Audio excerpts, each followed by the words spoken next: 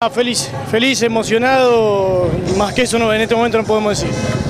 Una de las particularidades y las bondades del equipo, todos jugadores locales, todos del club. Sí, la unión que más que un grupo son la mayoría amigos, la unión que tuvo el grupo durante todo el año, fundamental.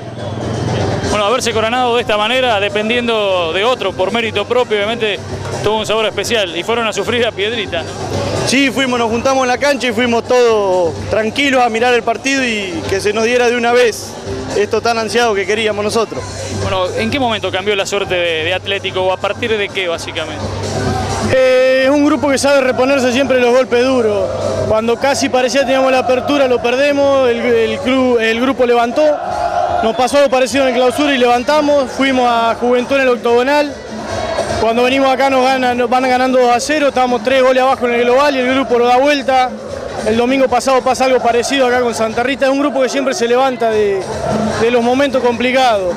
Eh, además de, de, la fortaleza de los chicos, de la unión que vienen de muy chiquitos juntos, vinieron dos jugadores de afuera como Cristian Sosa y Luciano Monte que encajaron muy bien en el grupo.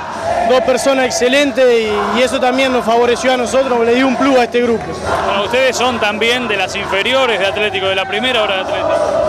Sí, sí, los dos somos una familia de, pura de Atlético, desde mi abuelo, mi papá, todo de Atlético y es un sentimiento muy especial que llevamos adentro y llegar a esta instancia es lo máximo que podíamos soñar. Pensar en lo que viene ahora, nada fácil tampoco. No, ni hablar, ahora disfrutar toda esta semana, disfrutar el último partido y después ya ir pensando en lo, en lo que sigue. Bueno, ¿con quién compartís este momento y este triunfo?